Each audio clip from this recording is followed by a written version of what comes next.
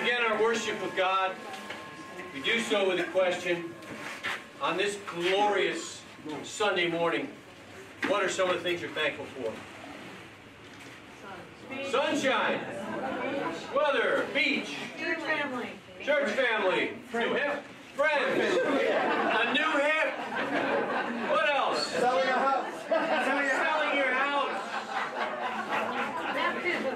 baptism, music, Temperature. temperature, No rain. calm, no rain. We are so blessed, way beyond measure. Friends, with a sense of gratitude for the gift of life, for many, many blessings. Together, let us worship God. May we begin with a prayer. Lord, for this day, for the gift of life, and for many, many blessings, sunshine and friends and music, and the gift of life, we give you thanks. We pray that in the moments before us that you will bless us with a sense of openness to sense the Spirit in the midst of us, to let the word and the tune and the waves and just the sense of grace in this sacred place carry us through this service and this day and in the week that is before us. For these things we humbly thank you for and ask in your name. Amen.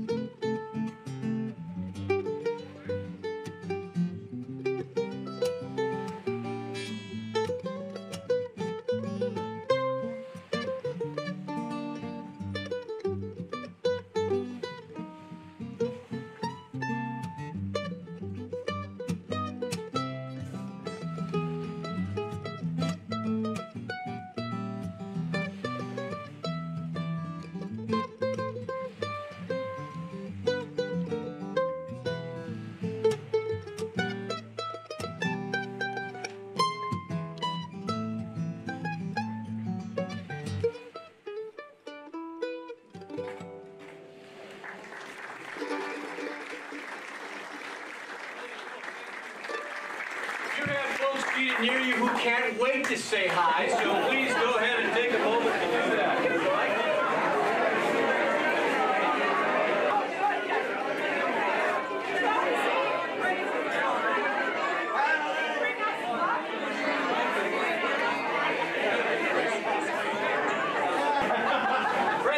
You for being here on a spectacular Sunday morning.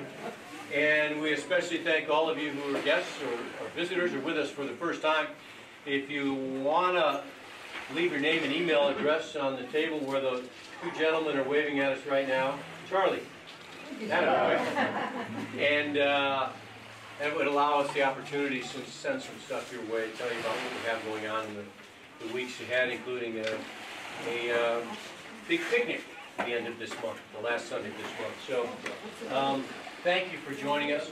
I want to say thank you to Elliott Delman and Phil Goldman for being here.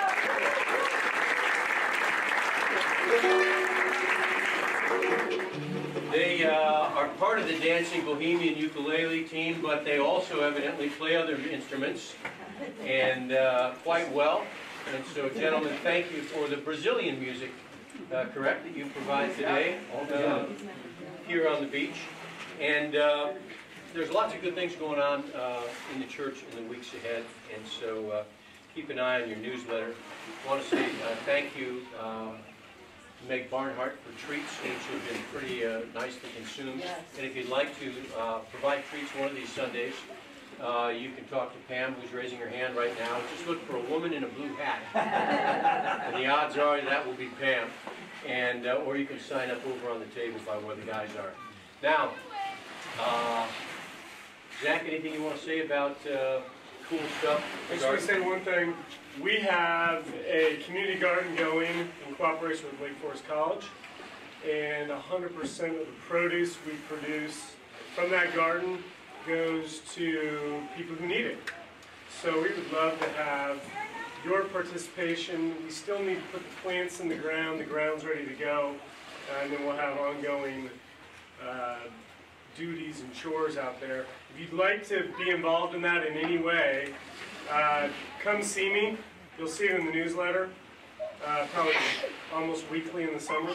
But come see me. We can talk about how you can connect. Thank you. Thank you. We, uh, we have the privilege now of offering the sacrament uh, of baptism to a little angel. And, uh, you know, most of us are worried about, you know, what's happening today and, you know, what does the future look like, et cetera, et cetera. What's amazing about this sacrament uh, is that uh, it's probably been offered somewhere in the world uh, each and every day for the last 2,000 years. And most of the time, or much of the time, it's on a body of water just like this, not in a chalice or, or a baptismal font inside a church. And so we have the privilege, privilege of offering that sacrament. And uh, so I'm going to go step into the body of water and uh, you needn't do that, but if you'd like to come to the edge uh, of the water, please do so now.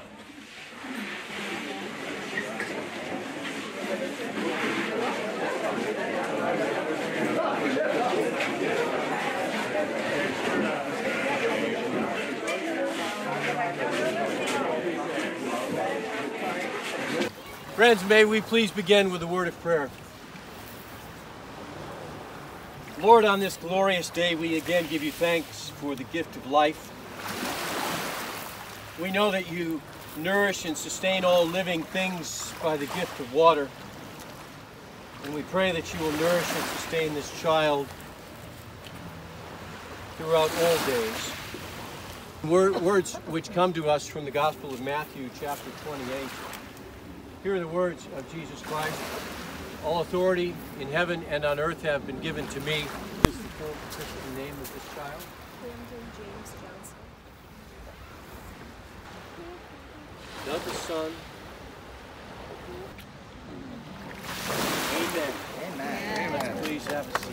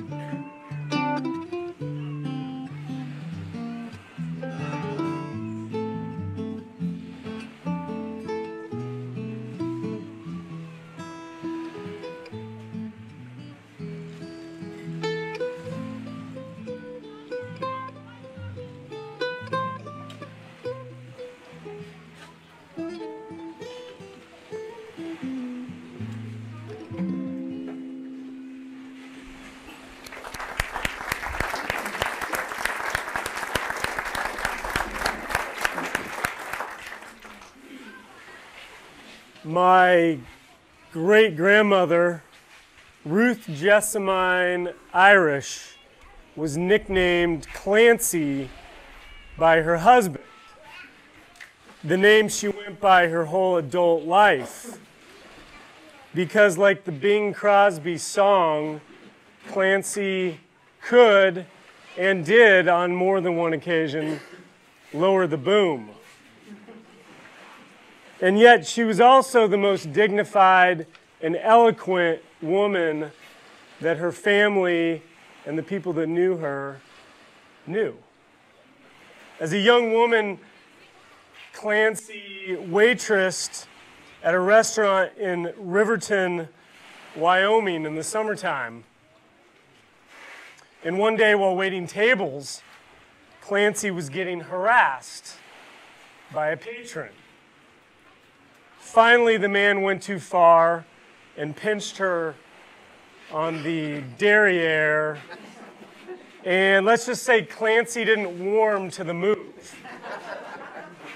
When she came back with the man's food, a plate of meatloaf, mashed potatoes, and gravy, she said, Here's your plate of food, and dumped it in his lap. She was fired but not before delivering a bit of righteous justice.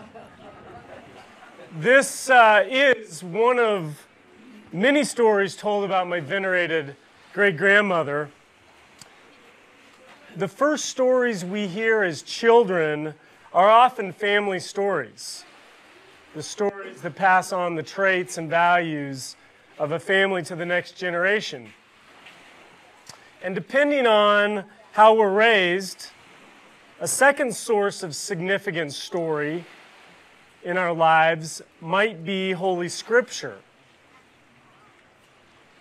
The stories we tell and the stories we hear are important to who each of us becomes. The scripture for today, Psalm 97, is included in the common lectionary for today, the seventh Sunday of Easter goes like this The Most High reigns. Let earth exult. Let the many coastlands be glad, including the North Shore.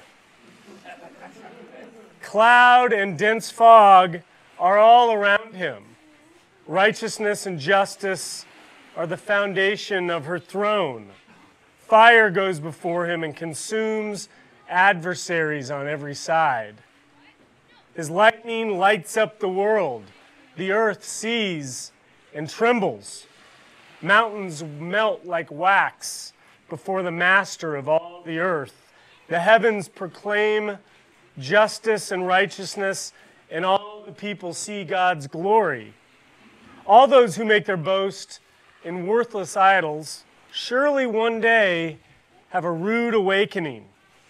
They've put their trust in a mirage and will one day be compelled to comply with the way of justice. Zion hears and is glad, and the villages of Judah rejoice because of your judgments, O God, for you are most high, the highest power over all the earth and the universe. You who love God despise evil and risk your life to oppose it at every turn. Light dawns for the righteous and joy for the upright in heart. Rejoice in God, O you righteous, and acclaim his holy name. In the stories of Scripture, we're told that righteousness and justice come with a wide possibility of expression. It comes with evil being challenged and ultimately vanquished. And it comes in tender moments of healing and forgiveness.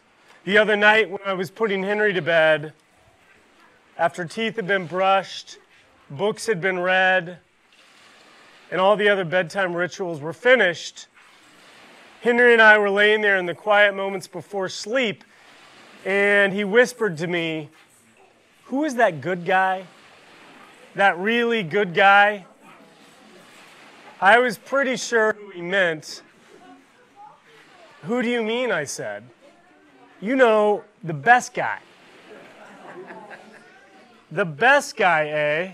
I said, waited, waiting for him to find the name he was searching for. After a few long moments, he said, Jesus, tell me a Jesus story. Oh, you want a Jesus story? Those are pretty good stories, aren't they? And I told Henry the first Jesus story that popped to mind. The blind man received sight. Jesus made mud, combining spit and dust, and rubs it in this guy's eyes. And tells the man to go away and wash his eyes. Right? And the story, as I'm telling it, just sounded crazy. And I'm thinking, well, I wonder what Henry's thinking about this. Spitting in the dirt and making mud and putting it in somebody's eyes. And this skepticism is exactly what the story explores after the healing. How absurd and unbelievable. It seems that a man was healed of blindness. This kind of thing was unheard of, and the religious leaders were squawking. They weren't happy about it. Uh, and they tried to humiliate the man who was healed.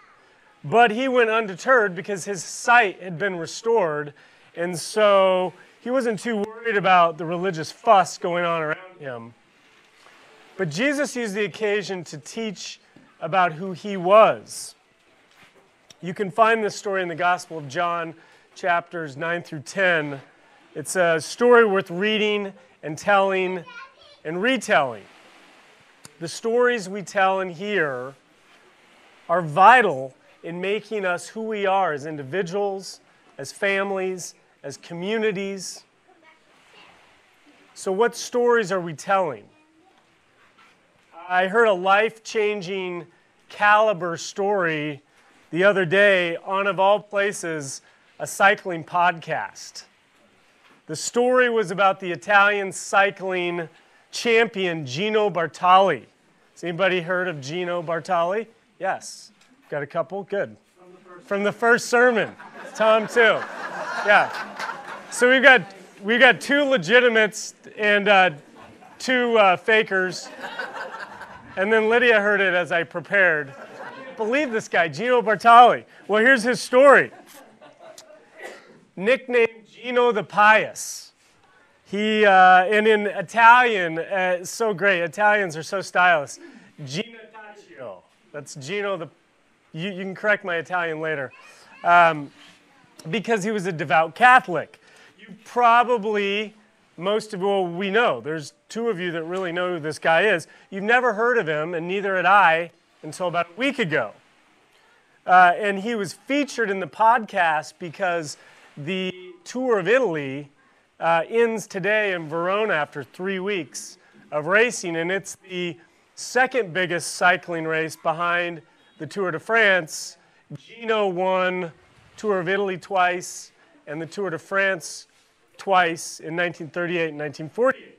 In 1938, after Gino had won, Mussolini lightly or heavily suggested that he dedicate his victory to Mussolini and the fascist regime, and Gino declined, which sounds sort of, you know, benign, except for it was with great risk that you, that you decline Mussolini's invitation.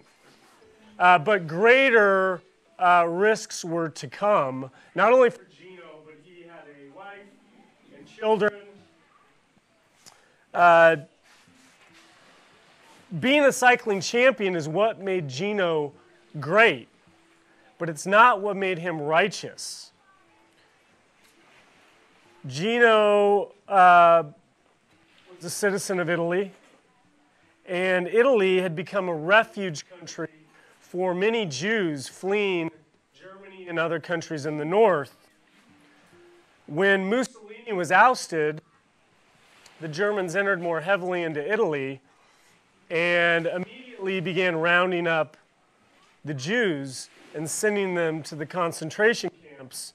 Cardinal Florence, the Archbishop Costa, Cardinal, the Cardinal Florence, where Gino was from, uh, Archbishop Costa, knowing that Bartali was a devout Catholic, asked him to join an underground network offering protection and safe passage uh, for thousands of Jews and other endangered people that were concentrated in Assisi.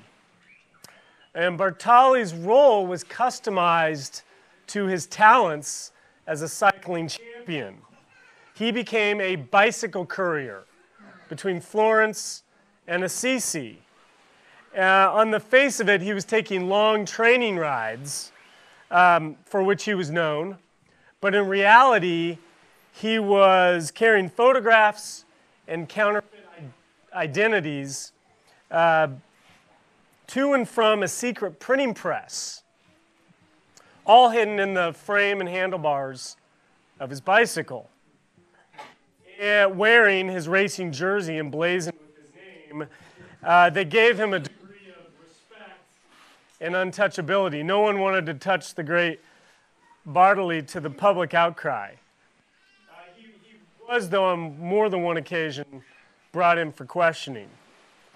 In addition to smuggling photographs and documents, Bartali hid his Jewish friend and neighbor, Giacomo Goldenberg, and his family in the family cellar, uh, risking his life and his family's life.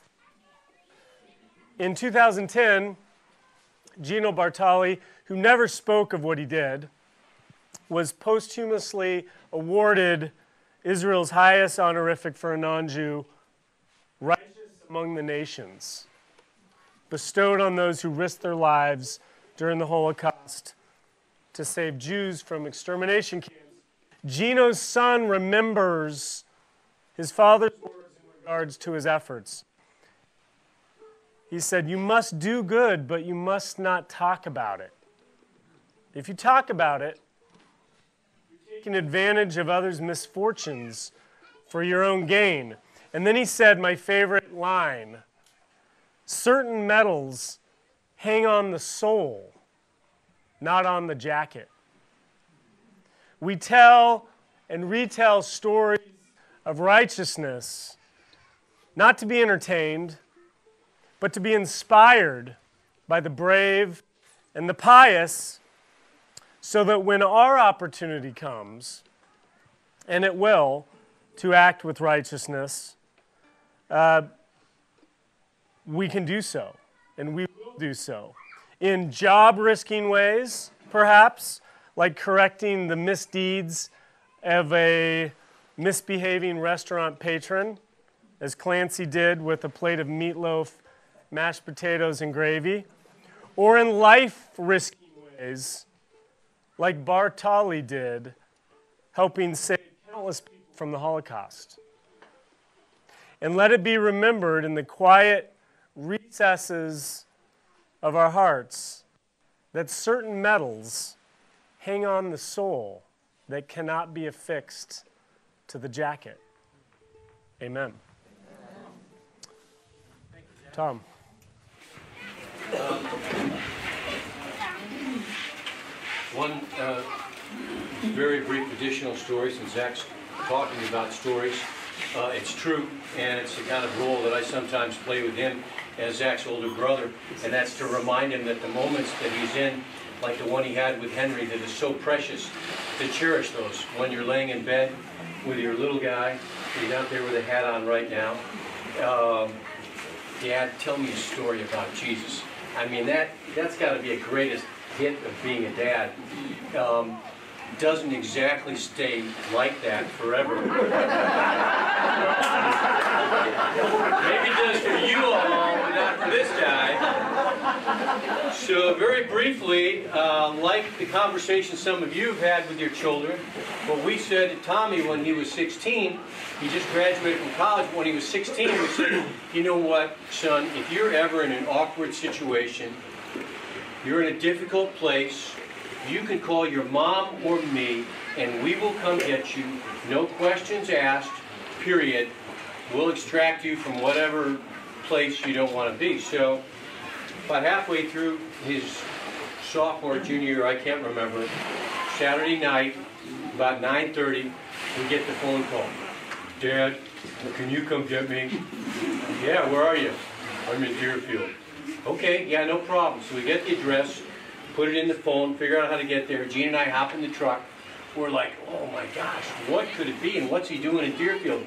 We zip over there, we pull up in front of the house. I text him, Tommy, we're here. About 90 seconds later, he comes out, walks out, gets in the back seat of the truck. We drive away. Tommy, you all right? Yeah. And we're trying to keep this covenant that we're not going to press him, you know, on what was going on. We get about halfway back to Lake Forest. So, like, man, what's up? He goes, well, I was with, and then he named six buddies, and they all go to this other church. He goes, we were like having fun and we were playing cards, but we went over to this other guy's house, and pretty soon it's Saturday night at 9:30, and we're wa- we're watching an Old Testament video on Moses and talking about that, and I'm like, wait, that's what we extracted from? The preacher's kid is stuck watching an Old Testament video. It's like, Dad, get me out of here, rescue me. So enjoy those precious moments, Zach, while they last. Please know that we are very grateful for the support you provide the community. Gentlemen?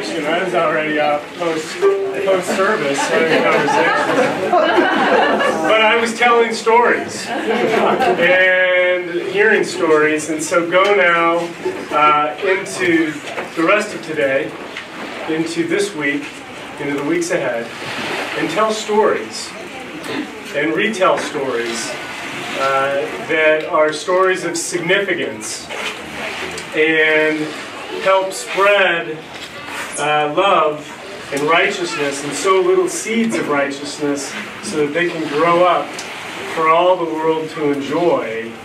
And in doing so, uh, medals will be hung on the soul that cannot be hung on the jacket. And the people said, Amen.